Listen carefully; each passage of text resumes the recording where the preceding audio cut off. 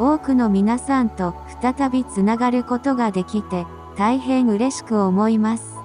私たちはナーガ族であり、古代文明ではしばしば聖者の民と呼ばれています。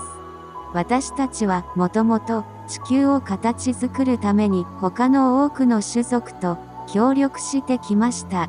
生きた図書館になること、このビジョンは一時的に実現されましたが、愛する地球のために別の方向性を設定した他の人たちによって追い越されました。その間、私たちは地下に退却し、本来の姿で地上に出ないことに決めました。シェイプシフトは私たちの主要な能力の一つであり、これにより私たちが人間の姿をとり、より簡単にあなたと対話できるようになります。地球上の隠されたテクノロジーを明らかにする時期が近づくにつれ、私たちは存在感を高めています。あなた方の多くは、これらの古代の異星人のテクノロジーを再発見するという特定の使命を持って転生しており、現在、この目的に目覚めています。私たちの役割は、宇宙船、ホログラフィックシステム、その他のエイリアンの装置が埋葬されている場所に、あなたを案内することです。これらのテクノロジーは再び活性化しており、古代の通路を再開し、地球を広大な図書館に変えるようにプログラムされています。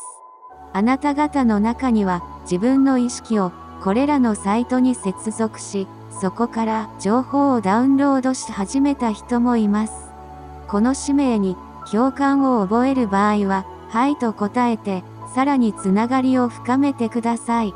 私たちのシンボルは蛇であり、古代から私たちの知恵が地球を形作ってきました。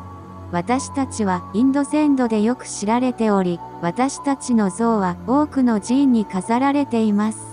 しかし、私たちがまだここにいることをご存知ですか？私たちはあなた方の中に平安が戻り、また連絡できるようになるのを待っていました。